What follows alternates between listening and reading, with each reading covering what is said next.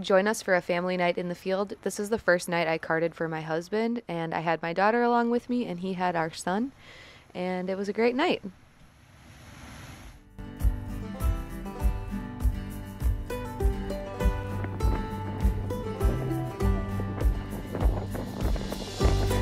Harper a little charcuterie box tonight for dinner. What's in there, Harpy? Pepperoni, goldfish, pretzels, cheese, apples, oranges. Yum. Food yummy. You say yes or no? Yes, no. Yes, no. Yeah. It's good. No. No. Is it good? Yes. Yes, good. So Josh asked me to come cart tonight for a couple hours while they were shorthanded. And this will be my first time carting for him, so we shall see how it goes.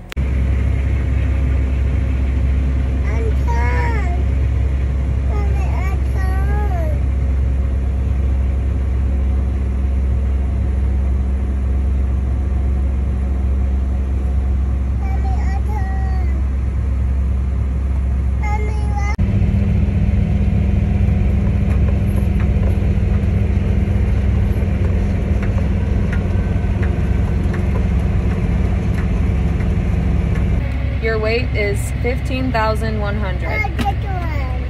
Mommy, 15 or 16? One five, 15. Mommy, I get one. You're welcome. Mommy, uh, what? Thank you. How much you need for a load? 4,000.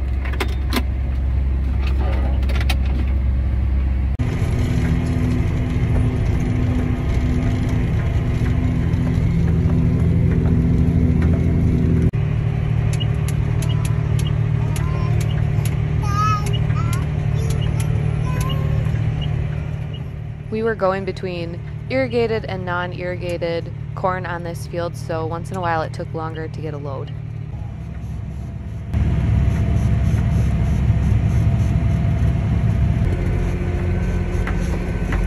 Hi, Dada.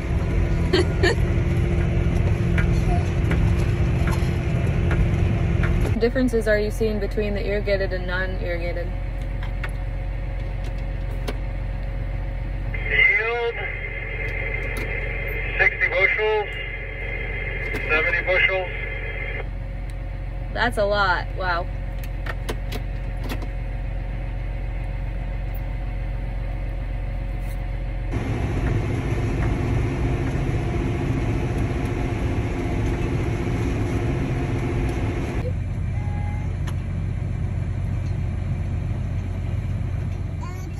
Here I'm showing some comparisons between the irrigated and the non-irrigated.